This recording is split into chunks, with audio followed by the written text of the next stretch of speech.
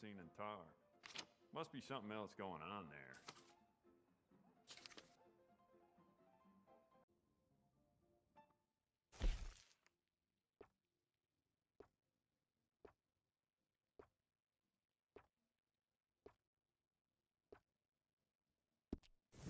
Once, but I ain't sure.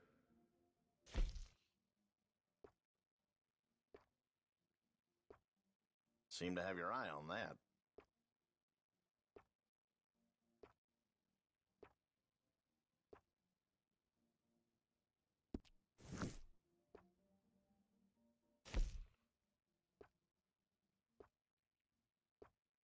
I sell out of that pretty fast.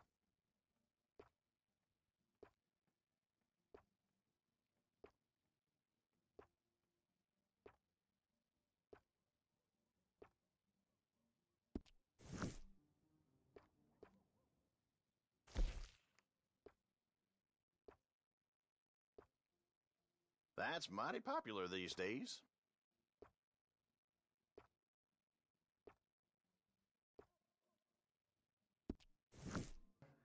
Probably move out west.